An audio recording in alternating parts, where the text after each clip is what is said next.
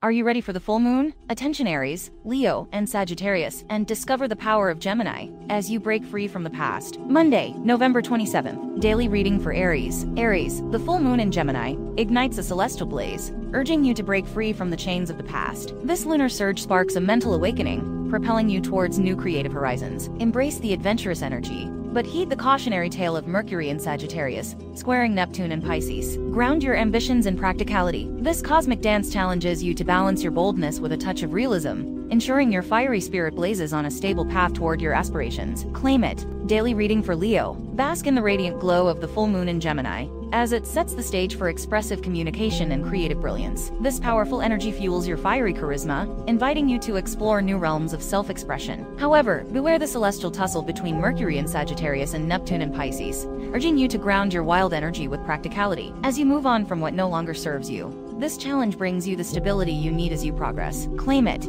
Daily reading for Sagittarius. The full moon in Gemini sparks an intellectual journey, propelling you into uncharted territories of exploration. Gemini is your opposite within the zodiac wheel, and this lunar energy heavily impacts your wild nature. As you explore, be aware of Mercury clashing with Neptune, bringing you the difficult task of grounding your dreams in practicality. This full moon is a beacon towards new hope, as you move past uncertain energy and embrace change, claim it. Today's fire affirmation I have an unlimited power to manifest. Double tap to awaken your cosmic intuition.